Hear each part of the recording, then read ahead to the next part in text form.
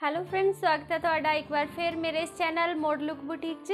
Friends ਅੱਜ ਮੈਂ ਤੁਹਾਨੂੰ ਇੱਕ ਸਾਈਡ ਨੂੰ ਪ੍ਰਿੰਟ ਵਾਲੀ ਸਲਵਾਰ ਦੀ ਕਟਿੰਗ ਕਰਕੇ ਦੱਸਾਂਗੀ। ਮੈਨੂੰ ਇਸ ਬਾਰੇ 'ਚ ਕਮੈਂਟਸ ਵੀ ਆਏ ਸੀਗੇ ਕਿ ਮੈਂ ਇਸ ਸਲਵਾਰ ਦੀ ਕਟਿੰਗ ਕਰਕੇ ਦੱਸਾਂ, ਜਿਹਦਾ ਸਾਰੇ ਦਾ ਪ੍ਰਿੰਟ ਇੱਕ ਸਾਈਡ ਨੂੰ ਹੋਵੇ। ਅੱਜ ਦੀ ਮੇਰੀ ਇਹ ਵੀਡੀਓ ਇਸੇ ਦੇ ਬਾਰੇ ਵਿੱਚ ਹੈ। ਸ਼ੁਰੂ ਕਰਨ ਤੋਂ ਪਹਿਲਾਂ ਫਰੈਂਡਸ ਜਿਨ੍ਹਾਂ ਨੇ ਹਾਲੇ ਤੱਕ ਮੇਰੇ ਚੈਨਲ ਸਬਸਕ੍ਰਾਈਬ ਨਹੀਂ ਕੀਤਾ ਪਲੀਜ਼ ਸਬਸਕ੍ਰਾਈਬ ਕਰ ਦਿਓ ਤੇ ਨਾਲ ਬੈਲ ਆਈਕਨ ਜ਼ਰੂਰ ਪ੍ਰੈਸ ਕਰਿਓ। ਤਾਂ ਕਿ ਮੇਰੀ ਆਉਣ ਵਾਲੀ ਨਵੀਂ ਵੀਡੀਓ ਦਾ ਨੋਟੀਫਿਕੇਸ਼ਨ ਤੁਹਾਨੂੰ ਸਭ ਤੋਂ ਪਹਿਲਾਂ ਮਿਲ ਸਕੇ। ਸਟਾਰਟ ਕਰਦੇ ਹਾਂ ਅੱਜ ਦੀ ਵੀਡੀਓ ਫਰੈਂਡਸ ਦੇਖੋ, ਇਹ ਕੱਪੜਾ ਹੈ ਜਿਹਦੇ ਤੇ ਮੈਂ ਅੱਜ ਕੱਲ੍ਹ ਸਲਵਾਰ ਦੀ ਕਟਿੰਗ ਕਰਨੀ ਹੈ। ਇਹਦਾ ਸਾਰੇ ਦਾ ਪ੍ਰਿੰਟ ਇੱਕ ਸਾਈਡ ਨੂੰ ਹੀ ਹੈ। ਇਹ 5 ਮੀਟਰ 올 ਓਵਰ ਸੂਟ ਸੀ, ਜਿਹਦੇ ਵਿੱਚੋਂ ਮੈਂ ਇੱਥੋਂ ਸ਼ਰਟ ਪੀਸ ਕੱਢ ਲਿਆ ਹੈ। ਠੀਕ ਹੈ ਜੀ, ਤੇ ਸ਼ਰਟ ਦੇ ਸਾਈਡ ਤੋਂ ਬਚਿਆ ਹੋਇਆ ਇਧਰਲਾ ਕੱਪੜਾ ਆ, ਤੇ ਅੱਗੇ ਜਿਹੜਾ ਐਕਸਟਰਾ ਬਚਿਆ ਹੋਇਆ ਸਲਵਾਰ ਦਾ ਕੱਪੜਾ ਉਹ ਹੈ। ਇਹਦੇ ਵਿੱਚੋਂ ਮੈਂ ਸਲਵਾਰ ਦੇ ਪੱਲੇ ਕੱਢਣੇ ਆ। ਠੀਕ ਹੈ ਜੀ। ਪਹਿਲਾਂ ਤਾਂ ਇਹਨੂੰ ਇਸ ਤਰ੍ਹਾਂ ਹੀ ਫੋਲਡ ਕਰਕੇ ਜਿੰਨੀ ਵੀ ਸਾਨੂੰ ਲੈਂਥ ਸਭ ਚਾਹੀਦੀ ਹੈ, ਓਨੀ ਆਪਾਂ ਕੱਟ ਕਰ ਲੈਣੀ ਹੈ ਪੱਲਿਆਂ ਦੀ। ਮੈਂ 31 ਇੰਚ ਦੇ ਪੱਲੇ ਕੱਟਣੇ ਆ। 31 ਇੰਚ ਨਾਪ ਕੇ ਮਾਰਕ ਕਰ ਲੈਣਾ ਹੈ। 31 ਇੰਚ ਮੈਂ ਪੱਲੇ ਫੋਲਡ ਕਰ ਲਏ ਆ ਤੇ ਹੁਣ ਮੈਂ 13 ਇੰਚ ਦੀ ਚੌੜਾਈ ਰੱਖਣੀ ਹੈ, ਠੀਕ ਹੈ ਜੀ?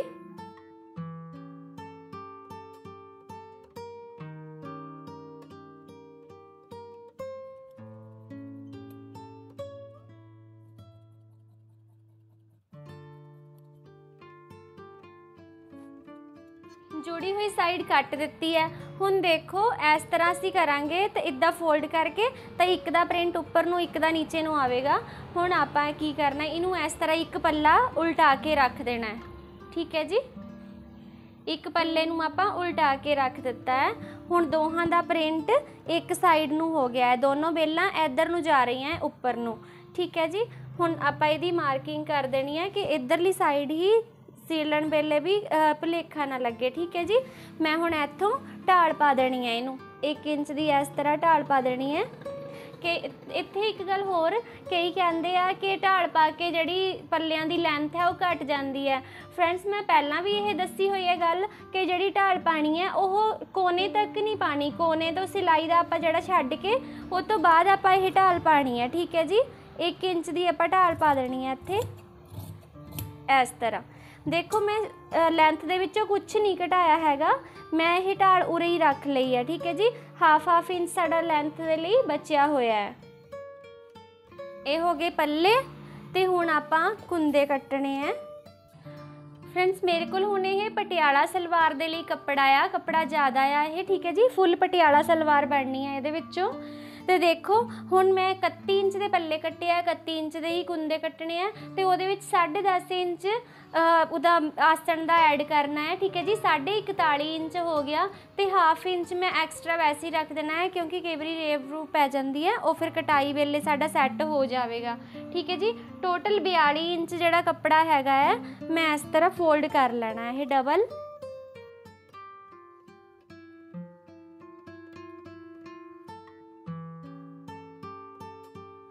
ਬਿਆਲੀ ਬਿਆਲੀ ਇੰਚ ਸਾਰਾ ਕੱਪੜਾ ਲਾ ਲੈਣਾ ਹੈ ਡਬਲ ਫਰੈਂਡਸ ਦੇਖੋ, ਹੁਣ ਮੈਂ ਇਹ 42 42 ਇੰਚ ਜਿਹੜਾ ਕੱਪੜਾ ਹੈ ਇਹ ਫੋਲਡ ਕਰਕੇ ਇਸ ਤਰ੍ਹਾਂ ਡਬਲ ਫੋਲਡ ਕੀਤਾ ਹੈ 42 42 ਇੰਚ ਕੱਪੜਾ ਲਾ ਲਿਆ ਹੈ।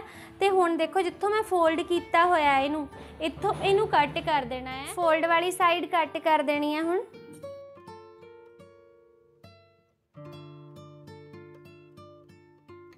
ਹੁਣ ਫਿਰ ਇੱਕ ਪੱਲਾ ਚੱਕ ਕੇ ਉੱਪਰ ਵਾਲਾ। ਅਲਟਾ ਕੇ ਰੱਖ ਲੈਣਾ ਹੈ ਇੱਕ ਸਾਈਡ ਨੂੰ, ਇਹਦਾ ਪ੍ਰਿੰਟ ਕਰਕੇ। ਠੀਕ ਹੈ ਜੀ? ਦੇਖੋ, ਮੈਂ ਇਸ ਤਰ੍ਹਾਂ ਉਲਟਾ ਕੇ ਰੱਖ ਲਿਆ ਹੈ। ਹੁਣ ਦੋਨਾਂ ਪੱਲਿਆਂ ਦਾ ਜਿਹੜਾ ਪ੍ਰਿੰਟ ਹੈਗਾ, ਉਹ ਇੱਕ ਸਾਈਡ ਨੂੰ ਹੀ ਹੋ ਗਿਆ ਹੈ। ਠੀਕ ਹੈ ਜੀ? ਫਰੈਂਡਸ ਦੇਖੋ, ਹੁਣ ਆਪਾਂ ਪੱਲਾ ਉਲਟਾ ਕੇ ਦੋਹਾਂ ਪੱਲਿਆਂ ਦਾ ਜਿਹੜੇ ਫੋਲਡ ਕੀਤੇ ਹੋਏ ਦੋਹਾਂ ਦਾ ਹੀ ਪ੍ਰਿੰਟ ਇੱਕ ਸਾਈਡ ਨੂੰ ਕਰ ਲਿਆ ਹੁਣ ਦੇਖੋ, ਜੇ ਤਾਂ ਤੁਸੀਂ ਭਾਰੀ ਸਲਵਾਰ ਨਹੀਂ ਪਾਣੀ ਠੀਕ ਹੈ, ਫਿਰ ਤਾਂ ਤੁਹਾਡੀ ਪੂਰੀ ਸਲਵਾਰ ਦਾ ਹੀ ਪ੍ਰਿੰਟ ਇੱਕ ਸਾਈਡ ਨੂੰ ਆ ਸਕਦਾ ਹੈ। ਠੀਕ ਹੈ ਜੀ, ਮੈਂ ਇਹ ਵੀ ਕਟਾਈ ਤੁਹਾਨੂੰ ਦੱਸ ਦਿੰਦੀ ਹਾਂ। ਬਟ ਜਿਹੜੇ ਮੇਰੇ ਕਸਟਮਰ ਆ, ਉਹਨਾਂ ਦੇ ਉਹਨਾਂ ਨੇ ਮੈਨੂੰ ਪਟਿਆਲਾ ਸਲਵਾਰ ਬਣਾਉਣ ਦੇ ਲਈ ਕਿਹਾ ਹੈ ਹੈਵੀ ਸਲਵਾਰ। ਜਦ ਆਪਾਂ ਹੈਵੀ ਸਲਵਾਰ ਬਣਾਣੀ ਹੈ, ਤਾਂ ਉਹਦੇ ਵਿੱਚ ਦੋ ਪੱਲਿਆਂ ਦਾ ਉੱਪਰ ਨੂੰ ਪ੍ਰਿੰਟ ਤੇ ਦੋ ਪੱਲਿਆਂ ਦਾ ਨੀਚੇ ਨੂੰ ਪ੍ਰਿੰਟ ਆਣਾ ਹੀ ਆਣਾ ਹੈ। ਠੀਕ ਹੈ ਜੀ? ਜਦੋਂ ਆਪਾਂ ਫੁੱਲ ਪਟਿਆਲਾ ਸਲਵਾਰ ਬਣਾਣੀ ਹੈ। ਠੀਕ ਹੈ? ਹੁਣ ਜੇ ਆਪਾਂ ਤੁਹਾਨੂੰ ਮੈਂ ਇੱਕ ਸਾਈਡ ਨੂੰ ਜੇ ਤੁਸੀਂ ਪ੍ਰਿੰਟ ਲਿਆਉਣਾ ਚਾਹੁੰਦੇ ਹੋ, ਪੂਰੀ ਸਲਵਾਰ ਦਾ ਬਹੁਤੀ ਭਾਰੀ ਨਹੀਂ ਪਾਣਾ ਚਾਹੁੰਦੇ, ਤਾਂ ਤੁਸੀਂ ਇਸ ਤਰ੍ਹਾਂ ਕਰਕੇ ਕੱਪੜੇ ਨੂੰ ਪੂਰਾ ਇਸ ਤਰ੍ਹਾਂ ਫੋਲਡ ਕਰ ਲੈਣਾ ਹੈ ਦੁਬਾਰਾ। ਠੀਕ ਹੈ ਜੀ ਵਿਡਥ ਵਾਈਜ਼ ਡਬਲ ਕੱਪੜੇ ਨੂੰ ਵਿਡਥ ਵਾਈਜ਼ ਫੋਲਡ ਕਰ ਲੈਣਾ ਇਸ ਤਰ੍ਹਾਂ।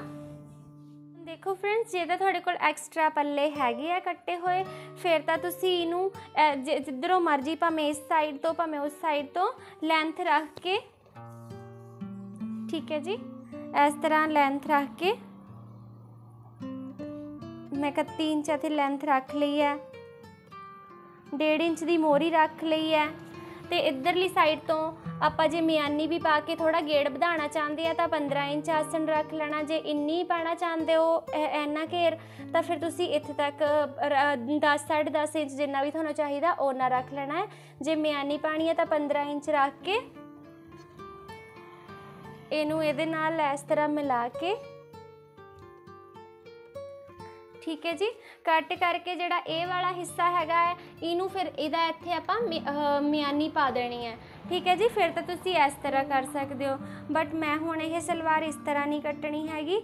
ਠੀਕ ਹੈ ਜੀ, ਜੇ ਤੁਸੀਂ ਇੱਕ ਸਲ- ਸੀਣ ਵਾਲੀ ਸਲਵਾਰ ਬਣਾਉਣਾ ਚਾਹੁੰਦੇ ਹੋ, ਉਹਦੇ ਮੈਂ ਲਿੰਕ ਡਿਸਕ੍ਰਿਪਸ਼ਨ ਬਾਕਸ 'ਚ ਪਾ ਦੂੰਗੀ ਉਹਦਾ ਪ੍ਰਿੰਟ ਵੀ ਇੱਕ ਸਾਈਡ ਨੂੰ ਹੀ ਆਂਦਾ ਹੈ ਸਾਰੀ ਸਲਵਾਰ ਦਾ। ਤੁਸੀਂ ਉੱਥੋਂ ਦੇਖ ਸਕਦੇ ਹੋ। ਹੁਣ ਮੈਂ ਇਹਨੂੰ ਦੇਖੋ, ਇਹਨੂੰ ਹੁਣ ਮੈਂ ਇਸ ਤਰ੍ਹਾਂ ਕੱਟਣਾ ਆ। ਹੁਣ ਮੈਂ ਦੂਜੀ ਸਾਈਡ ਉਲਟਾ ਕੇ ਰੱਖ ਲੈਣੀ ਮਾਰਕ ਮਿਕਸ ਹੋ ਜਾਣੇ ਨਹੀਂ ਤਾਂ। ਦੇਖੋ, ਹੁਣ ਮੈਂ ਪਹਿਲਾਂ ਰੱਖੀ ਆ 31 ਇੰਚ। ਇੱਥੇ 1.5 ਇੰਚ ਦੀ ਮੋਰੀ ਦਾ ਨਿਸ਼ਾਨ। ਮੋਰੀ ਤੋਂ ਬਾਅਦ 10.5 ਇੰਚ ਆਸਣ। ਟੋਟਲ ਇਹ ਹੋ ਗਿਆ 41 ਇੰਚ।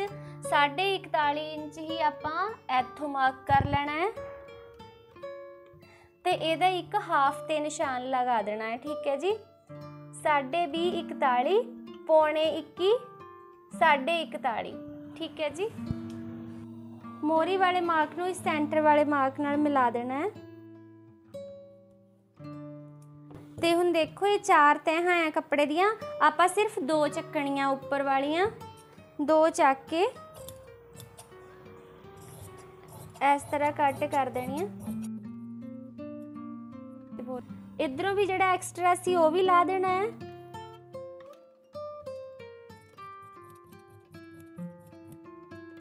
ਤੇ ਹੁਣ ਇਹ ਜਿਹੜੇ ਦੋ ਪੱਲੇ ਕੱਟ ਕੀਤੇ ਇਹਨਾਂ ਨੂੰ, ਖੋਲ ਦੇਣਾ ਹੈ। ਤੇ ਹੁਣ ਇਧਰਲੀ ਸਾਈਡ ਤੇ ਲੈਂਥ ਨਾਪਣੀ। 31 ਇੰਚ ਲੈਂਥ 1.5 ਇੰਚ ਮੋਰੀ। ਇਸੇ ਕੱਟਣ ਵਾਲੀ ਨੂੰ ਮਿਲਾ ਦੇਣਾ। ਤੇ ਕਟਿੰਗ ਕਰ ਦੇਣੀ ਹੈ